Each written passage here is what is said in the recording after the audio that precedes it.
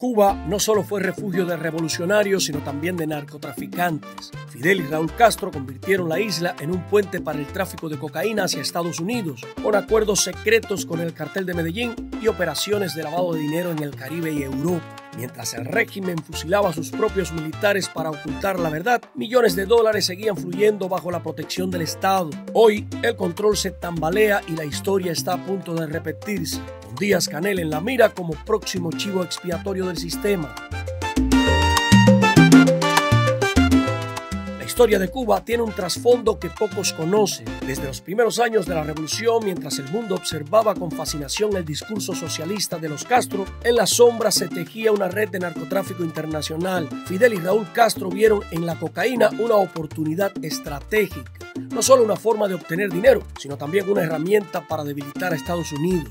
Era un juego peligroso, donde aliados inesperados como el cartel de Medellín entraban en escena con acuerdos que dejaban millones en ganancias y destrucción a su paso. Durante las décadas de los 70 y 80, Cuba se convirtió en un puente clave para el tráfico de drogas.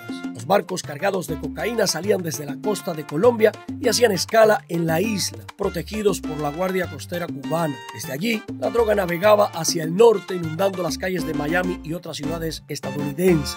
No era solo un asunto económico, sino una jugada política cuidadosamente calculada por los Castro para ganar influencia en medio de la Guerra Fría. El gobierno cubano no actuaba solo. La lista de cómplices incluía desde militares de alto rango hasta embajadores en países estratégicos como Colombia. Nombres como Arnaldo Choa y Tony de la Guardia emergen en esta trama. Fueron piezas clave hasta que dejaron de ser útiles. En 1989 Fidel organizó un juicio para condenarlos y presentarlos como los únicos responsables del tráfico de drogas, con el fin de limpiar su propia imagen. Ambos fueron ejecutados mientras el régimen seguía operando en la sombra. Las acusaciones contra los Castro no se detuvieron ahí. Informes presentados por desertores de la inteligencia cubana como el general Florentino Asprillaga y Manuel de Beunza revelaron cómo se organizaba esta maquinaria desde el corazón del gobierno cubano. Empresas fantasmas en todo el mundo llevaban el dinero del narcotráfico y la participación directa de los Castro era más que evidente.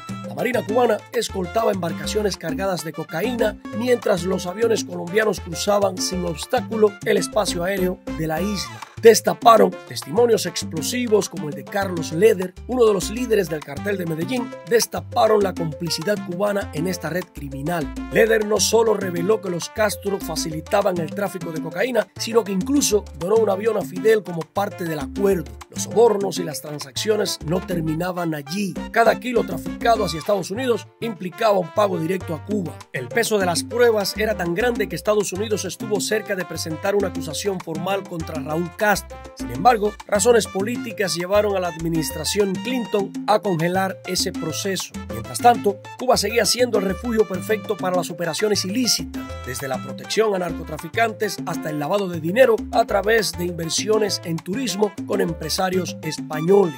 Con el tiempo, esta red se extendió hacia Venezuela, creando una nueva alianza entre el régimen cubano y el llamado Cartel de los Soles. Leamsi Salazar, un ex jefe de seguridad de Hugo Chávez, reveló cómo los militares venezolanos y los cubanos colaboraban en estas operaciones. Los vuelos cargados de cocaína y dinero aterrizaban en Cayo Coco y otros puntos estratégicos de la isla, reforzando la conexión entre La Habana y Caracas. El impacto de esta red no se limitó a la región. Las investigaciones revelaron que bancos en Estados Unidos terminaron confiscando más de 400 millones de dólares relacionados con estas operaciones.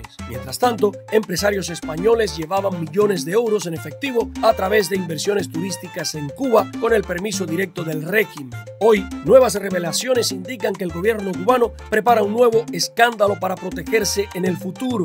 Según un testigo protegido, Miguel Díaz Canel podría convertirse en el próximo chivo expiatorio del régimen, en un intento de los Castro por mantener su control hasta el último momento. Con Raúl Castro envejeciendo, todo apunta a que Díaz Canel será sacrificado para preservar la imagen del sistema. Cuba ha sido más que un país atrapado en el socialismo, ha sido una pieza clave en el tablero global del narcotráfico. Esta historia, que ha permanecido oculta durante décadas, sigue desenredándose ante nuestros ojos.